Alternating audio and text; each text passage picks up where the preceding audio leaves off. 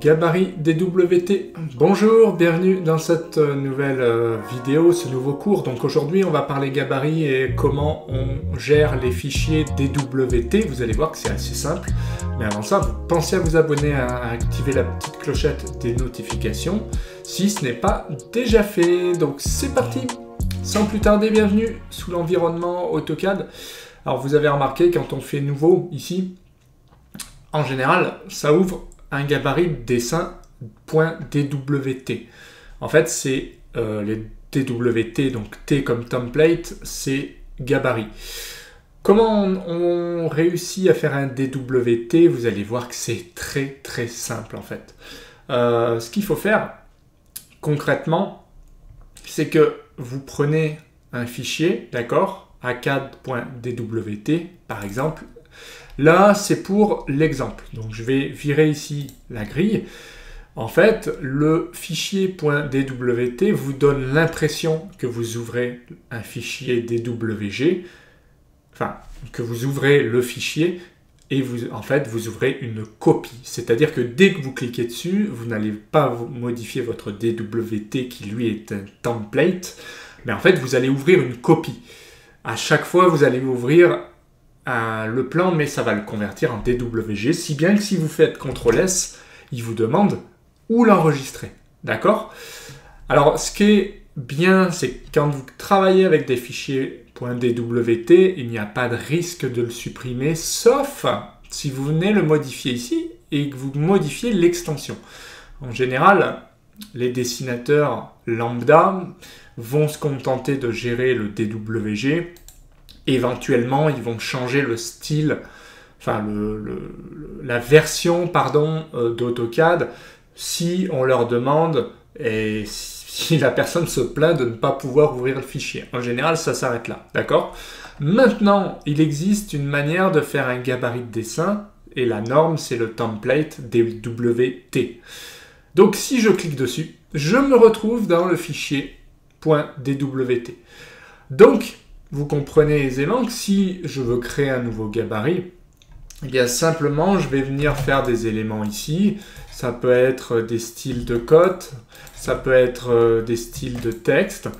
Et ça, j'ai envie de pouvoir le transformer. Par exemple, si je modifie code style, je modifie, je rajoute des échelles au 25e, au 50e. Bien évidemment, si je fais CTRL S, c'est un fichier DWG standard. Si demain je viens faire .dwt, je peux mettre par exemple gabarit euh, structure, gabarit euh, perso. Euh, vous faites enregistrer et à chaque fois vous ferez nouveau, vous aurez votre fichier et vous double, vous double cliquez dessus. Alors toujours pareil, quand vous double-cliquez dessus, vous ne l'ouvrez pas vraiment. Vous ouvrez la copie, il va vous demander de l'enregistrer sous, et là, vous commencez à bosser. Donc en fait, c'est la petite subtilité du DWT, il ne faut pas se tromper. Alors il y a des petits aléas. En général, peut-être que vous faites comme ça, vous repartez toujours d'un fichier standard, d'accord? C'est le principe du DWG, on prend le fichier d'avant, moi, ce que je fais, je travaille plutôt avec des fichiers DWG que je vais venir copier et que je vais renommer et travailler. D'accord? Euh, Pourquoi je fais ça? Parce que je me suis aperçu que quand on est nombreux, euh, parce que euh, j'encadrais une équipe de, de, dessinateurs et en fait, le problème c'est que si vous n'avez pas la même version, si par exemple mon fichier, moi je travaille en 2018, je fais DWT, ça sera pour de l'AutoCAD 2018 ou supérieur. Si quelqu'un demain a un AutoCAD 2016 ou 2017, il ne pourra tout simplement pas ouvrir le DWT, d'où l'inconvénient, alors que si c'est du DWG, vous pouvez choisir le format. C'est la seule petite subtilité. Par contre, si vous travaillez seul, ça a un intérêt certain. Vous pouvez très bien travailler toujours avec votre gabarit DWT, comme ça vous êtes sûr de ne pas l'écraser.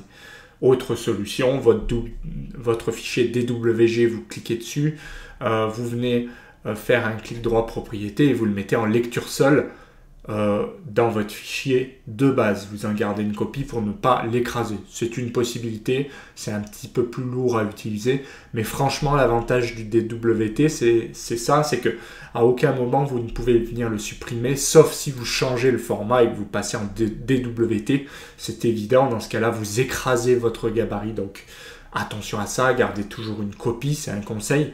Sinon, c'est très pratique.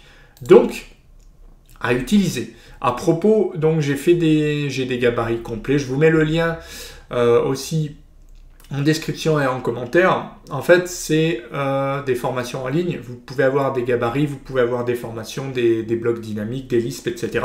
Donc je vous incite, je vous invite à cliquer dessus pour aller faire un tour. Comme ça, vous pourrez voir un petit peu toutes les formations que je propose et si vous n'êtes pas expert en gabarit, vous pourrez déjà récupérer des DWG que vous pouvez ensuite, comme vous le savez, euh, enregistrer sous en DWT. Ça, c'est pas vraiment un souci puisque vous avez appris ça, j'espère, aujourd'hui.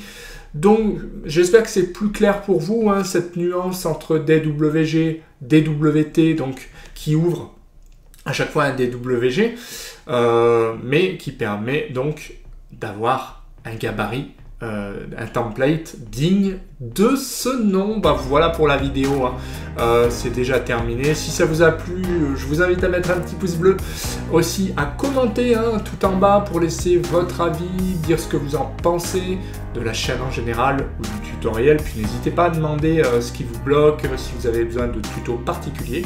Attention aussi, pensez à abonner à la chaîne et activer la petite clochette des notifications. Ça, c'est pour ne rien manquer. Et moi, je vous dis à bientôt pour d'autres vidéos. Allez, bye